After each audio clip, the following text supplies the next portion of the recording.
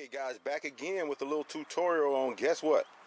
Coffee mugs. A lot of people are writing in wanting to know how do you wrap a coffee mug? What are some good coffee mugs to sell? Well, I just wrote, I just listed a couple of uh, items here, or have a couple items here. Just want to show you real briefly coffee cups that I like, things I think are very cool. Look at this one.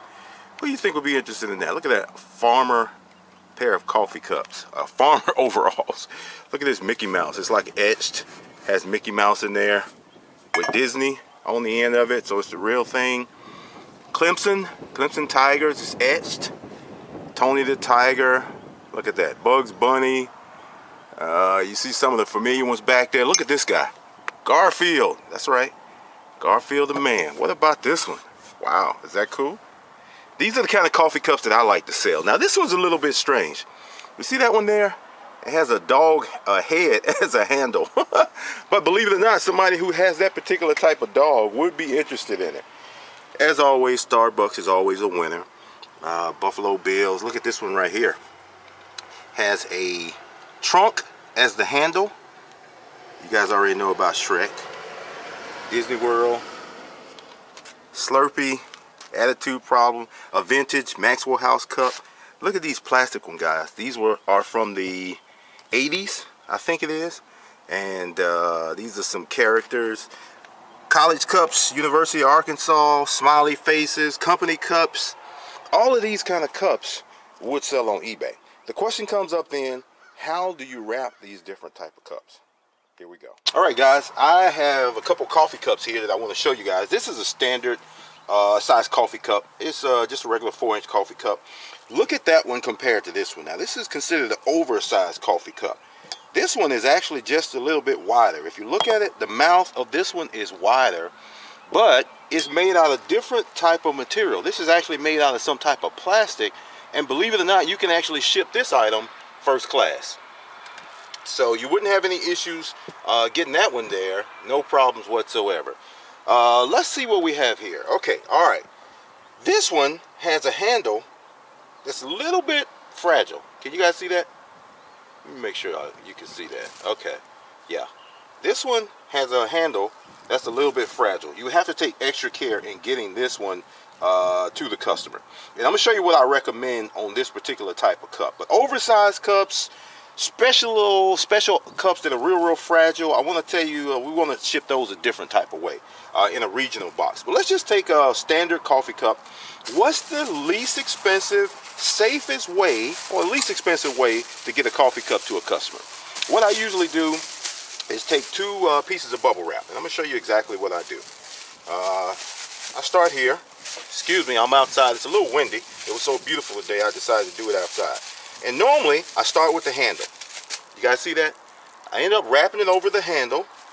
And I want to have a little piece of tape or two ready. Start over the handle. Go over the handle again. Can you guys see that? The handle is the most vulnerable part of this particular item. And I tape it. And normally what I would do in this particular case is I would tape it down again just to protect it. And just to be on the safe side, you might add a third sheet of bubble wrap.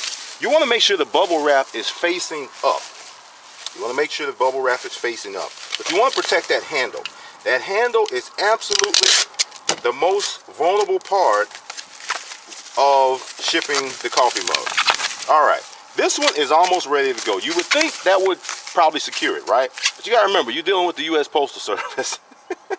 Sometimes they get in a hurry, they might throw items.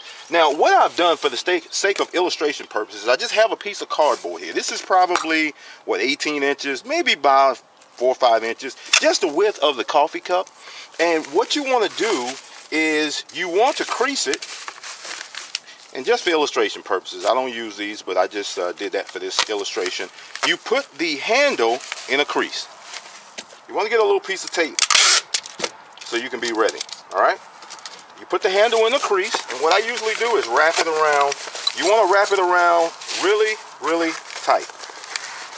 Okay, because you want to protect that handle. All right? And then you put your piece of tape in place. Well, if I can get the piece of tape to cooperate.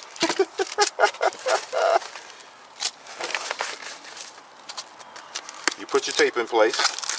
All right. And what I usually do next, guys, I squeeze it. You want to protect this handle. This is absolutely the most vulnerable part of the shipping and of the coffee cup. Wrap it with tape. All right.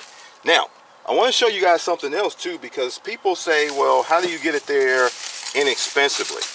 And this is what I want to show you guys now. Some people use, I've seen uh, videos where people use the padded flat rate envelopes. Can you see the, it's already bubble wrapped. I wouldn't trust that by itself. What I use, because that's actually about 30 cent more, I just use the regular Priority Mail flat rate envelopes. And uh, this one right now is right about $5. And I open it up. If you can see that just fine. I open it up. Put that part in there. Put the handle face up. Strip it. And this item is ready to be shipped. Put your label on there and you are good to go. You are protected. This item could be dropped and uh, I can almost guarantee you if you use a standard size coffee cup and if you do it just like that, you won't have any issues whatsoever, guys. I want to thank you guys for watching this. But what happens if you have a oversized? Back again with the regional box. A guys that's the one we're going to use for this particular type of shipping the oversized cups. And what I've done is just put some uh, a couple sheets of bubble wrap in the bottom. And after bubble wrapping this item you would have to sit it in there. Now if you had a handle like this I don't know if I would feel comfortable laying it down because this is absolutely the most vulnerable part. What I would do if it were me was bubble wrap it and ship it just like that with bubble wrap and fill all over the side to protect the item.